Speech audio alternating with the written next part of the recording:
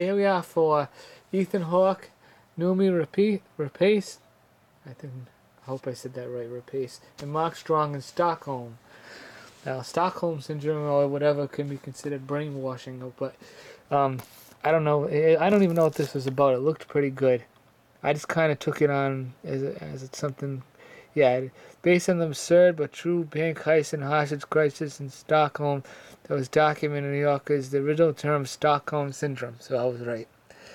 Stockholm focuses on the relationship between, you know, the, the good person and the bad person, and they fuse together. It's really one of the worst things you can do to somebody.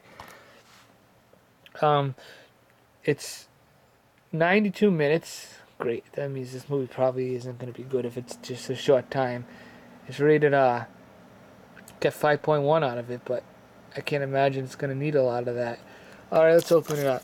This one is brand new. Come on. You, this plastic is that hard, I can't rip it open. So that's what I get. The, um, the pen. People can wait. It's they wait through all my other videos, like my race car ones. Okay, I got it open now. Take a look at this. This is probably going to be a shitty disc.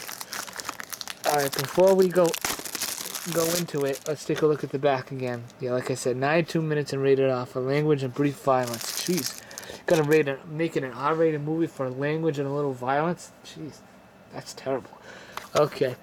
It has, um, oh, special feature wise, it doesn't show anything on here. There's probably something in the menu. It's probably mediocre.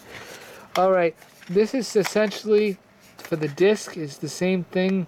This came out in 2018. It's the same thing as the front cover. And I have to say, it didn't lose much of its coloring or anything, so the disc looks almost the same. Cover still looks a little better, but it's not all that off. It's just a little more brighter and darker on there. They all just look like the front cover. Okay, perfect. Absolutely perfect from, because um, there's a few weird whatever over there, but that might be just dust or whatever.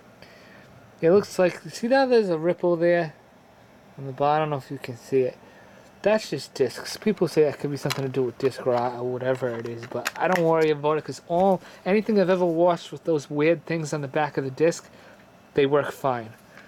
All right, that's it. Bye bye.